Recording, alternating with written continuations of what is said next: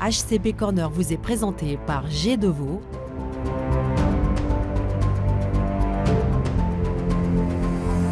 Despont et London Clinique des Tilleuls.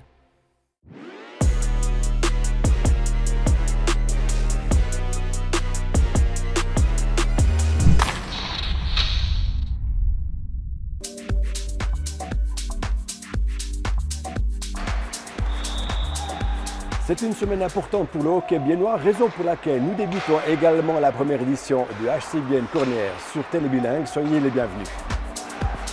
Alors les Zélandais se sont imposés lors de leur dernier match de préparation. C'était face au champion de Swiss League, la Chaux de Fonds. Et jeudi, les affaires sérieuses vont reprendre ici même face à Kozice en Champions Hockey League. Nous aurons d'ailleurs l'occasion d'en parler avec Daniel Villard, le CEO du club. Mais en attendant, je vous propose d'aller voir ce qu'il se trame sur les gradins de la Tissot Arena. Le secteur des visiteurs est devenu un peu plus petit à la Tissot Arena. À présent, il ne propose plus que 325 places au lieu de 500. En revanche, les fans biennois auront plus de places à leur disposition. Le HC a ajouté des sièges parce que la demande était très forte la saison passée, alors que le secteur visiteur n'affichait que rarement complet. Combien de places y aura-t-il effectivement dans le stade cette saison? Le club va communiquer ce chiffre mardi lors de sa traditionnelle conférence de presse de début de saison. Alors, chose promise, chose due, on accueille maintenant dans notre interview Daniel Villard, CEO du club du HCBN. Bienvenue Daniel. Bonjour. Alors, on a vu dans ce reportage, il y a des travaux qui sont en cours de la Tissot Arena. Alors, quels sont par contre les autres chantiers en cours au sein du HCBN en tant que club?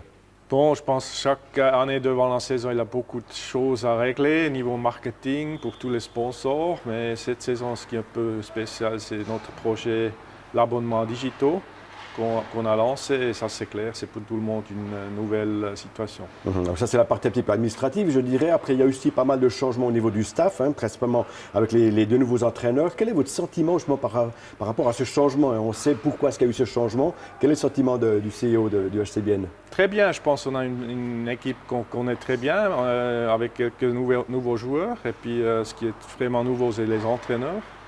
Et puis là, c'est vraiment une très bien, très bien impression après les premières semaines. Alors c'est vrai que la saison dernière s'est terminée très tard, hein. donc il y a eu un, temps de préparation pour la nouvelle saison qui a été un petit peu raccourci, je dirais. Euh, on a retrouvé la glace le, 7 août. Euh, est-ce que vous ne pensez pas que les matchs qui vont maintenant se dérouler, la Champions League jeudi, arrivent pas un petit peu trop tôt dans, dans la saison par rapport à la préparation du club? Oui, mais on ne peut pas changer et puis il faut être positif quand même. Euh, c'est une préparation optimale de jouer des matchs comme ça qui ne sont pas euh, amicales, qui sont vraiment euh, ouais, contre des équipes euh, très fortes. Et puis mhm. ça, c'est bien pour être prêt après pour le championnat. sais bien, vice-champion suisse, hein, on ne se lasse pas de le dire tout de même, la dernière saison, va pouvoir maintenant affronter des équipes au niveau européen. Justement, avec ce titre de vice-champion suisse, est-ce que les chances sont peut-être plus élevées cette saison de faire un bon classement au niveau européen? On verra. Je pense euh, niveau euh, National League, on sait c'est très très équilibré et puis euh, aussi international, on joue contre vraiment les, meilleures équipes de toute tout l'Europe et puis on est prêt, on a des buts. on peut savoir c'est quoi comme but? Euh, je pense que c'est clair. Euh, National League, on va être dans les top 6 comme, la saison dernière. Et puis euh, Champions Hockey League, on veut être après la phase, la première phase, on va jouer aussi les, les playoffs. Mhm. Je l'ai dit, depuis le 7 août, hein, le, HCB a retrouvé la glace après la préparation estivale. Donc les joueurs adorent revenir sur la glace, logiquement. Elle a effectué quelques matchs de préparation. On ne peut pas dire que c'était vraiment la panacée. On a une victoire contre la Chaux-de-Fonds, heureusement, je dirais. comment est-ce que vous estimez-vous l'équipe. On a parlé des entraîneurs, mais l'équipe, est-ce qu'on est qu'on sera prêt finalement à débuter le, 15 septembre le, championnat? On a vu la saison dernière, on a, je pense, euh, perdu tous les matchs de préparation. Euh, ça, c'est pas vraiment négatif. Euh, mhm. donc, je suis très persuadé qu'on a une équipe qui est prête aussi la semaine pour le championnat. Alors c'est vrai que vous avez dit, euh, vous aimeriez en National League vous positionner en sixième place, au minimum ça, mais c'est vrai qu'on pourrait prétendre quand même en tant que club qui était vice-champion, de enfin se dire, pourquoi pas dès le début se dire, on vise le titre de champion. Non, il faut être euh, vraiment, rester sur, sur terre. on sait très bien que ça c'est déjà vraiment très très dur de, de faire les playoffs directs. Il a des équipes qui sont beaucoup plus fortes cette année, comme Berne par exemple. Euh, je pense aussi à Lausanne. Lugano, donc on a assez de concurrence. D'accord. Alors, euh, le mardi, vous aurez votre point presse d'avant-saison, de différentes euh, choses qui vont être euh, divulguées. Par contre, on sait qu'on a eu une magnifique saison, des playoffs qui amènent aussi un petit peu de, l'argent dans, les caisses. Est-ce qu'on peut dire que maintenant, le HCBN, c'est bon au niveau financier, tout se passe bien? Oui, c'est bien. Comme déjà la saison dernière, je pense qu'on a fait un bon résultat au niveau des finances et ça nous aide aussi pour investir encore pas seulement dans la première équipe, aussi dans le Mufon Junior. Très bien. Vous avez l'occasion un petit peu d'aller dans les garde-robes de l'équipe, voir un petit peu l'atmosphère qu'il y a dans les garde-robes Oui, toujours. Euh, ça, c'est clair. Euh, début de saison, euh, on veut voir un peu les nouveaux visages. D'accord. Vous, vous avez vu les nouveaux visages. Et puis nous, on va proposer une nouvelle rubrique dans IHCBN Cornier qui s'appelle Backstage. Ça va vous donner l'occasion justement d'aller voir dans les coulisses un petit peu ce qui se passe. On va peut-être vous dévoiler par l'intermédiaire des joueurs eh bien, qui restent plus longtemps sous la douche, qui est peut-être le plus à la mode au niveau de la tenue vestimentaire et d'autres choses. Eh bien, on vous propose déjà cette première première rubrique Backstage avec Robin Grossman et Likit Reichley. Merci Daniel Villard. Merci pour l'invitation.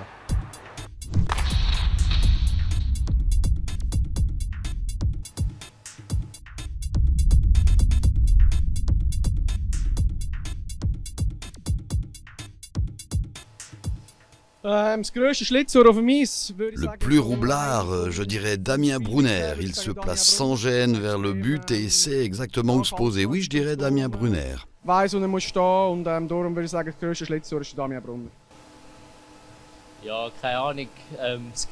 J'en sais rien, je ne suis pas dans l'équipe depuis longtemps. Je ne sais vraiment pas.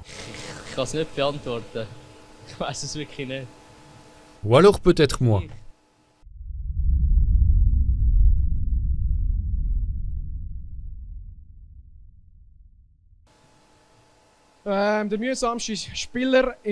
Je dirais que c'est Ramon Tanner, c'est un dur à cuire qui se donne toujours à fond. J'ai déjà quelques bleus à cause de lui depuis ces dernières semaines.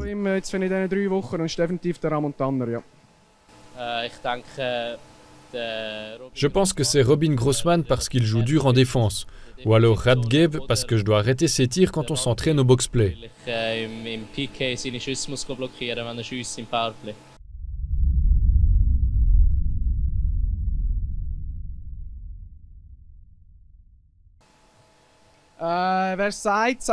Les Finlandais. Ville Poka, ce n'est pas le plus causant. Rayala non plus ne parle pas beaucoup. Donc oui, je dirais le clan des Finlandais.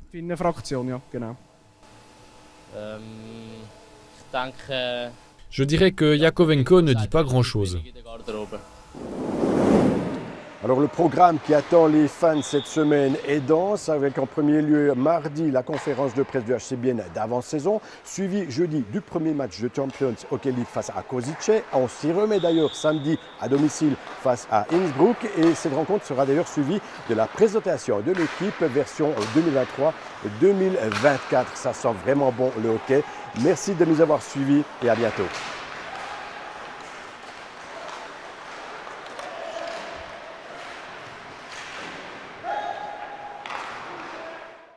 HCB Corner vous est présenté par G Deveau.